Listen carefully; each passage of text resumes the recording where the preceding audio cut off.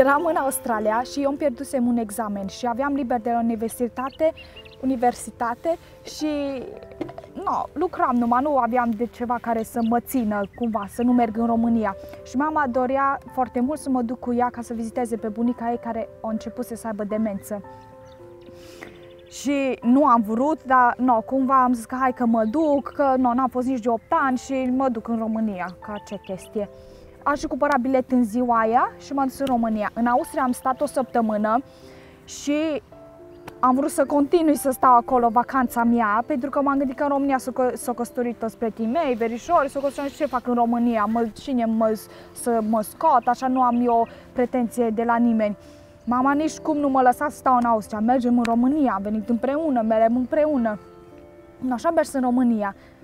Și am ajuns miercuria și joi ne-am dus la biserică și după biserică urma să fie cor și Tușadina avea cor și o trebuie să așteptăm. Joi după biserică. Joi după biserică era cor, da. Nu așa am zis. Nu mai știu. Ok. Nu mai știe, dar mă corectează. Ok. era cor și o trebuie să așteptăm pe Tușadina după cor, să eu am stat în sală cu unchiul Gicu și cu mama și no, ne tot zicea unchiul, uite, ăla e de nu știu cine, ăla e de nu știu cine. Și... Adică cumva încerca să... Nu, să... Și de, la un moment dat intră Patrick așa mai târziu, mai, mai după ce începe ora de cor. Și, nu, frumos băiatul, ce să știu zice. Am zis că nu, e, fa- e chiar frumos băiatul, e chiar interesant mi se pare, dar nu m-am băgat să... Um, n-am vrut să am ceva relație, relationship și să ăsta am zis că nu, că doar nu pentru asta am venit în România, am venit cu mama și și help me out. Dacă încep să povestesc, eu nu să mai fie așa scurt. Nu, lasă că te, te ajut eu. Joi seara stăteam pe bancă la cor și tot vreau să mă întorc, să mă uit la ea, că ea stătea undeva în spatele meu și mama a obținut să nu mă întorc. Că vedea mama, Că vedea dar mă uitam eu din Toată spate, lumea. din când în când, mai rar. și după aia sâmbătă la, am fost la Zalău, la o biserică, am cântat cu cor acolo la o conferință și s-a nimerit că Salome stătea exact uh, pe culoarul pe care stăteam, stătea exact în fața mea și nu știu așa, se tot uita la mine și tot uh, tot insista cu privirea așa. M-am uitat și eu la ea, că nu, dacă stătea exact în fața mea, n-am putut să nu mă uit la ea. Că era...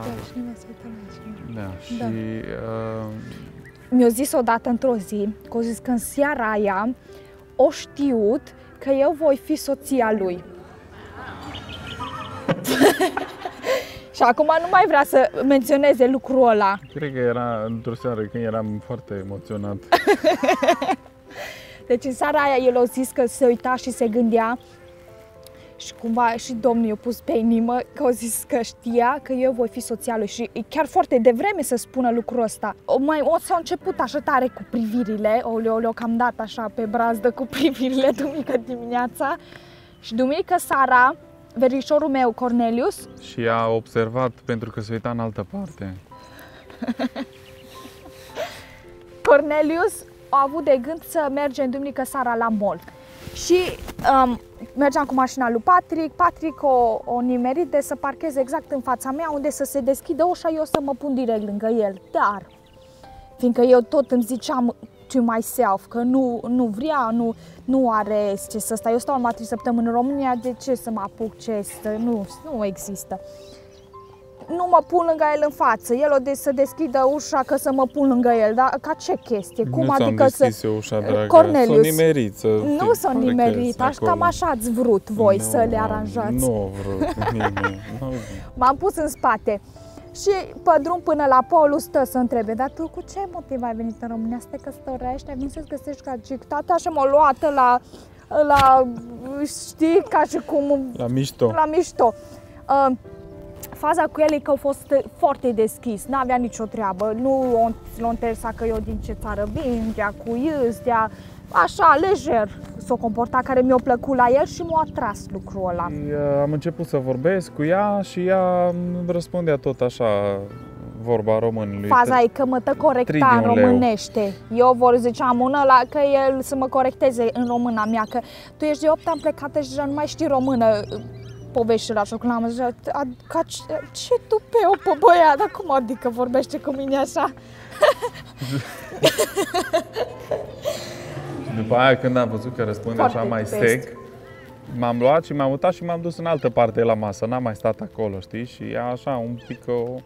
I s-o frânt inima așa, s-o, s-o, s-o, i s-o năruit toate speranțele.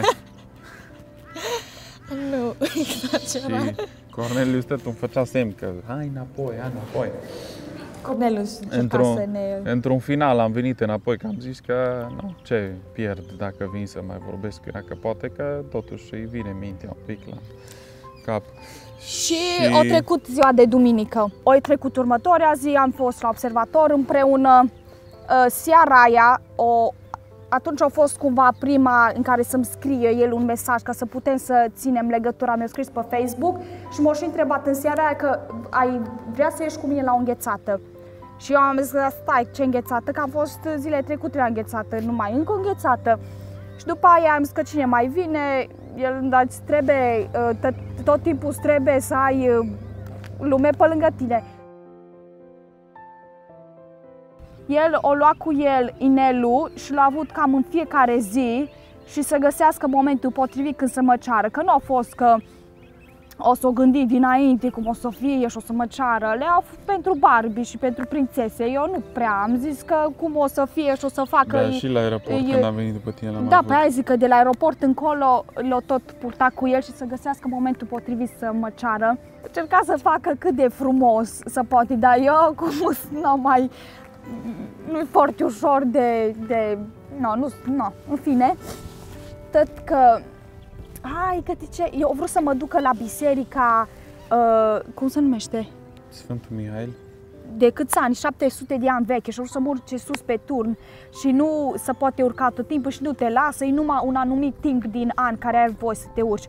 Și eu zis că nu, hai să mergem și că era și Ana cu noi și să vadă și Ana și am zis, nu, dragă, hai că nu acum, ajută că nu, că nu. El, dar nu vrei să iei aparatul și hai să facem poze. Ana trebuia să meargă în Alba Iulia. Și am zis, hai dragă, că Ana se grăbește, hai că mai venim noi. Și el tot insista și m-am gândit că No, dacă vrea băiatul să meargă pe turn, ce să așa să nu mă doiesc, hai că mergem pe turn. No, intră în biserică și simt că am vorbit tot, tot eu. Da. Nu povestește tu că tu m-ai cerut.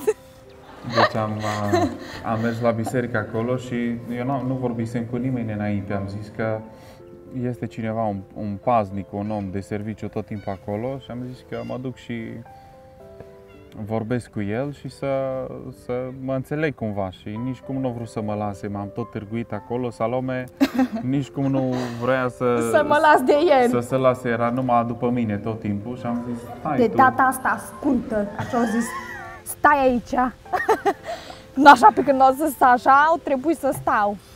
Și am mers și am vorbit cu omul. Până la urmă au zis că trebuie să mă duc la patriarhie să vorbesc cu preot, cu nu știu cine, No. că nu-i voie, că e interzis, că... Până la urmă, așa s-a nimerit că exact în ziua în care am mers noi atunci, deci o, aia a fost, Yeah, it a was fost really fain. interesting. A fost ceasornicarul, un, cea- un mecanic ceasornicar care merge și setează ceasurile și clopotele din turn ca să bată la anul nou, să bată că era, no, era aproape venirea anului nou și exact în ziua aia, o singură zi în care merge să seteze asta, s-a nimerit exact în ziua aia, a mers și no, ne-a zis până la urmă paznicul respectiv că e deschisă ușa, zice du-te și asta da pe răspunderea ta. Și am luat-o pe Salome și am urcat, uh, am urcat, Urcat, turnul ăla până urcem, Multe scări. până urcem vârful Ne-a turnului, îți ia trădat lor ceva de scări. timp și am ajuns acolo sus. Unde suntem? Suntem sus pe biserica Sfântul Mihail în Matei Corvin. De câți ani e veche? De 700 și ceva de ani. I-am zis a, eu, că ne-a întrebat uh, ceasornicarul că ce căutăm acolo, că s-a mirat să fim acolo și Nu, no, să Eu mergem, tot- m-am dus eu eu prima. tot, eu tot îi făceam semne că vreau să o cer de nevastă. și ăla nu înțelegea ce vreau să zic. Scumpule. Și ea făcea poze, era așa surprinsă și eu m-am dus de fapt în recunoaștere, să dau o tură de turn să văd unde e locul mai bun. Ce frumos. Say hello. Hello. și s-a nimerit că locul mai bun a fost exact, uh, eu m-am dus așa o tură de turn și când am venit înapoi, eu ajunsese în locul respectiv și n-am mai putut să mă duc înainte și înapoi și Am rămas acolo. a rămas exact în locul unde a fost ea și... Și aici pot să spun eu Spune. uh, și m-a întrebat că mă iubești și am zis că eu te iubesc, I love you, of course. Mi-era ciudat să zic... Da, m-a întrebat și intrat că mă iubești și am zis că nu, of course că te iubesc. Și după aia m-a mai întrebat toată și așa am zis, de ce tot mă întreb că te iubesc, că știi că te iubesc. Și m-a întrebat domnul pe, Petru. pe, pe Petru. Și um, după aia am zis că, da, de ce tot mă întreb? Și după aia m-a întrebat că mă iubești și de ajuns să fii soția mea. Mm. Mm.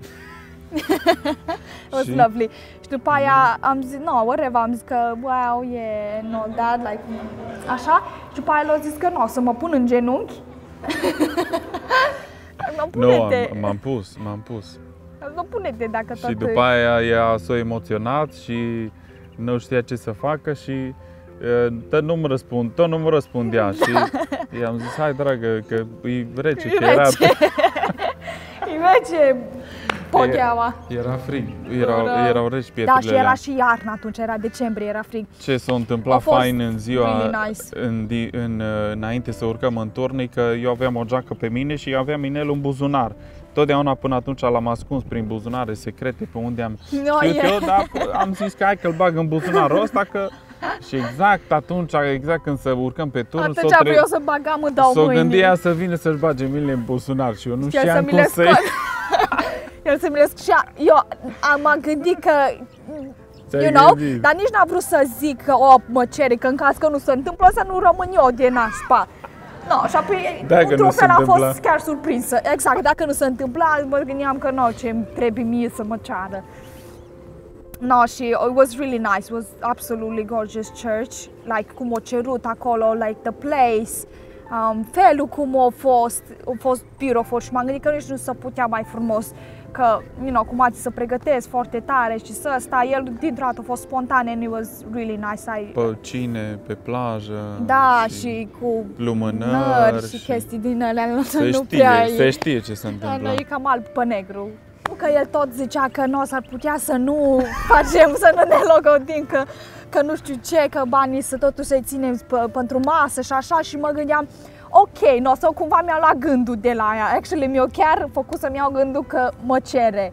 So, de a fost, I was surprised. No, și tot atunci, în decembrie, am făcut și căsătoria, a fost în, În s-a decembrie, nimerit în în, decembrie s-a nimerit ziua mea de naștere în 28 decembrie și ne-am căsătorit în 27 decembrie.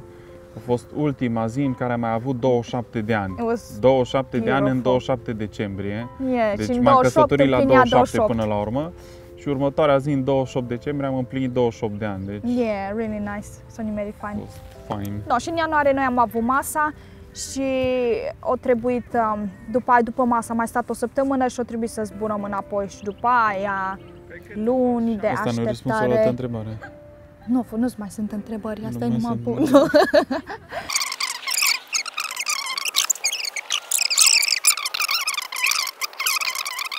Da, și cam așa ne-am cunoscut și, no, povestea bine, mai oricum lungă. mai povestea e lungă și în detaliu și putem să tot povestim.